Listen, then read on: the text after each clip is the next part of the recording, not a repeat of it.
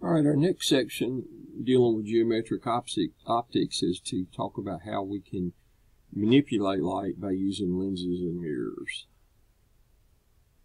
So everybody's looked into a mirror and you know that you see a reflection. And we want to talk, look at in details about how that reflection is formed and how we can describe that.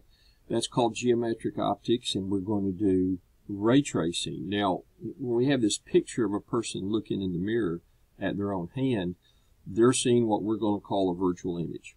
And we'll notice that up and down stays the same, but it has a left-right uh, change. It changes things from left to right. It reflects from left to right. So um, we'll keep that in mind as we go through this. Now, several definitions we're going to make. We're going to talk about an object distance, an image distance, and magnifications.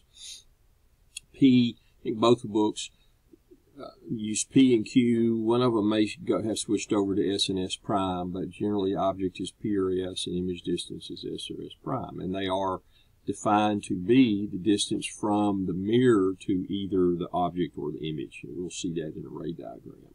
Images come in two types. They're either real or virtual. Real means the actual rays form.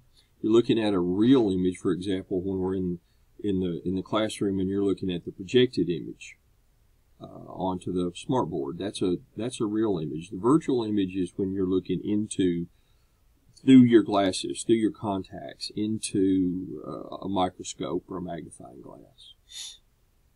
So here's our mirror. Here's an object that's emitting light, and the way we see it is that light's reflected to our eye. But it looks to our eye like it's coming from back here, not over here and therefore the image appears to be a certain distance from us. And the object to mirror is the object distance P, and image to mirror is our image distance. This is a virtual image that we're showing here. Now what we're going to do is be very formal about it, and one of the things I'm going to want you to do for the, the final is to be able to draw all these ray diagrams. So not only do you need to do the numbers, but you know I like the pictures, and 25 to 30 points on this next final exam will probably be involved in doing ray diagrams. So let's let's follow this. So generally you draw your surface. This one's flat.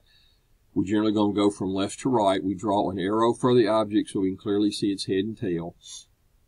And then we'll use various rays. Now for reflection, we know the incoming angle and outgoing angles are equal. So what you can do is you can trace through. This ray will come back on itself. And we're imagining our eyes over here focusing this light. So this ray will look like it came along the same line. So we can extend it. A dotted line will mean it's on the other side of our, mm, it's a virtual ray. It's on the other side of our mirror. This one reflects. Angles are equal. And therefore, if I'm down here, it looks like it came along this line, this angle. So that angle here is going to be the same as that one. We're going to call the object height h and the image height h prime. And where these two rays form is where, or cross is where the image of that point would be formed. So there's more rays, but we only need two to locate the image. The base will be formed along the center line here. Now you can tell by looking at these triangles, because the reflected angles equal, make your little x so that angle equals that one. That means these two angles are equal. If the height's the same, that means the distance is the same. So for flat mirrors, then we have P equals Q, absolute value. Uh, let's switch over and, and we have a simulation that I've loaded up, this one. Um, not sure what we can do with it, but it does show a, we could, uh, we can move this guy around. So it really doesn't matter where we put him this ray is going to go straight.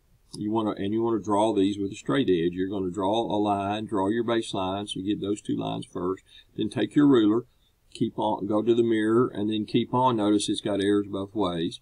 And then you're going to come down here to where it intersects the baseline and come out with the same angle, and then extend this one. And where these two form is your image. If you draw everything to scale, then you can, then you can know exactly what the angles are, etc.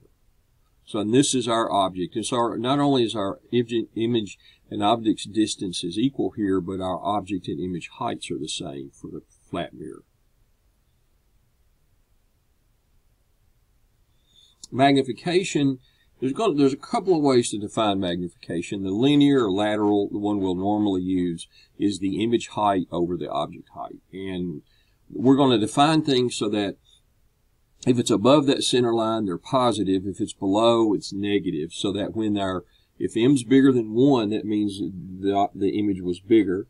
If m's less than one, it's smaller. If m's positive, it means it's above the line, the same as the object. If it's negative, it means it's below the line or it's inverted. So EM tells us quite a bit about our image. And there again, we have our left-right reversal for image reflection.